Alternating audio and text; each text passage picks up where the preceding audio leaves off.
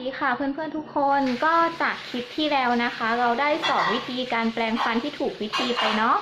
ส่วนมาคลิปนี้นะคะ จะสอนวิธีการใช้ไหมขัดฟันนะอะอันนี้ก็จะเป็นหน้าตาของไหมขัดฟันนะคะ มันจะมีขายเป็นกล่องๆแบบนี้ ถามว่าจำเป็นต้องใช้ไหมก็คือจำเป็นนะคะ เพราะว่า การใช้ไหมขัดฟันเนี่ยมันจะช่วยทำความสะอาดบริเวณซอกฟันนะ ซึ่งการแปรงฟันอย่างเดียวเนี่ยไม่สามารถทำความสะอาดได้เนาะการแปรงฟันอย่างเดียวเนี่ยมันจะทำความสะอาดได้แค่ผิวฟันด้านนอกนะคะ แล้วก็ใต้เหงือกแค่เล็กน้อยเท่านั้นเนาะแต่ว่าการใช้ไหมขัดฟันเนี่ยมันจะทำความสะอาดบริเวณซอกฟันได้นะคะ ทุกคนจำเป็นต้องใช้นะคะ โดยเฉพาะคนที่มีฟันแนบชิดติดกันแน่นหรือว่าอาฟันลักษณะมีฟันซ้อนเกยนะคะ เดี๋ยวจะสอนวิธีการใช้นะคะ วิธีการใช้ก็คือเราจะดึงไหมขัดฟันออกมา ความยาวประมาณ 8-9 นิ้วนะคะ ประมาณนี้อะ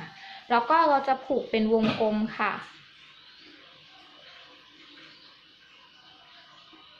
ผูกเป็นวงกลมให้แน่นเลย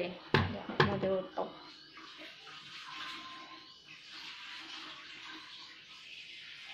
ไหมขัดฟันนะคะ ก็สามารถหาซื้อได้ตามห้างสรรพสินค้าทั่วไปนะคะ มีขายทั่วไปเลยตามวัดสันก็มีนะ ส่วนมากเขาก็ชอบลดราคาอยู่เนาะซื้อหนึ่งแถมหนึ่งอะไรอย่างเงี้ยถ้าไปเจอก็ซื้อเก็บไว้ก็ได้นะคะ วิธีการใช้เนาะเราผูกเป็นวงกลมแบบนี้ให้มันแน่น ๆนะคะ เนี่ยเวลา ดึงอย่างเงี้ยมันจะไม่ขาดนะ จริง ๆ แล้วว่าการใช้ไหมขัดฟันมันจะมีอยู่สองวิธีคืออีกวิธีหนึ่งเนี่ยจะเป็นเชือกแล้วก็พันนิ้วมือแบบนั้นก็ได้ แต่ว่าใช้แบบเนี้ยก็คือมันจะถนัดมือกว่า แล้วก็ใช้ปริมาณไหมขัดฟันที่ค่อนข้างน้อยกว่านะคะ จึงจะมาสอนวิธีแบบนี้นะคะวิธีการใช้นะคะเราจะใช้นิ้วโป้งกับนิ้วชี้ค่ะ เป็นตัวควบคุมไหมนะคะอะ เวลาเราสอดเข้าซอกฟันนะคะ เราจะค่อยๆสอดนะคะ เหมือนการถูผ้าเช็ดตัวหรือว่าการเลื่อยไม้นะคะ เราจะค่อยๆเลื่อยอย่างนี้นะคะ หลังจากนั้นนะคะ เราจะโอบตัวฟันอะเห็นไหมคะใกล้ๆอะโอบตัวฟันนะคะ พยายามให้ตัวไหมขัดฟันเนี่ยแนบชิดกับผิวฟันตลอดโอบนะคะพอโอบหนึ่งข้างเสร็จปุ๊บ เราก็ค่อยๆเลื่อยเข้าไปใหม่นะคะ แล้วก็โอบอีกหนึ่งข้างนะคะ ในหนึ่งซอกเนี่ยเราจะเข้าไปทั้งหมดสองครั้งนะ ก็คือโอบทั้งสองข้างนะเราจะทำอย่างเงี้ยเรื่อยๆนะคะ เราจะไม่พยายามแบบกดไหมขัดฟันลงไปอย่างนี้เนาะเวลาเราเข้าตาในซอกฟันเนี่ยเราจะค่อยๆเลื่อยนะ เพื่อจะได้ไม่ทำอันตรายต่อเหงือกนะคะ สังเกตเห็นไหมคะว่าตัวไหมขัดฟันเนี่ยมันจะเข้าสามารถเข้าไปในใต้เหงือกได้ด้วยเนาะเดี๋ยวกดโฟกัสนึงนะคะแล้วก็โอบ นี่ยค่ะโอบให้พยายามแบบตัวไหมเนี่ยโอบผิวฟันมากที่สุดนะคะนี่จ้ะแล้วก็ค่อยๆแล้วก็โอบอีกหนึ่งด้านนะ เราจะทำอย่างเงี้ยค่ะทั่วทั้งปากเนาะทุกซี่นะคะ ค่ะ โอเคนะคะ พอมองเห็นกันเนาะส่วนฟันหน้าก็เหมือนกันนะคะ อ่าเดี๋ยวทำฟันหน้าให้ดู ฟันหน้าก็คือ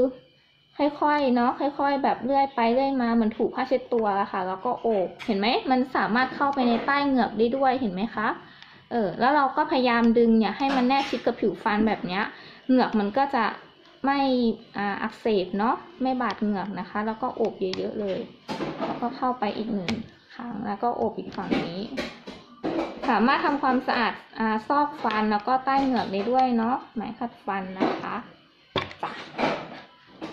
การใช้ไหมขัดฟันถามว่าใช้บ่อยไหมก็คืออย่างน้อยแค่วันละหนึ่งครั้งก็พอนะคะ อาจจะเป็นช่วงไหนก็ได้ที่เราสะดวกอะค่ะ แต่จะให้ดีก็คือควรที่จะใช้ก่อนการแปลงฟันทำไมต้องใช้ก่อนการแปลงฟัน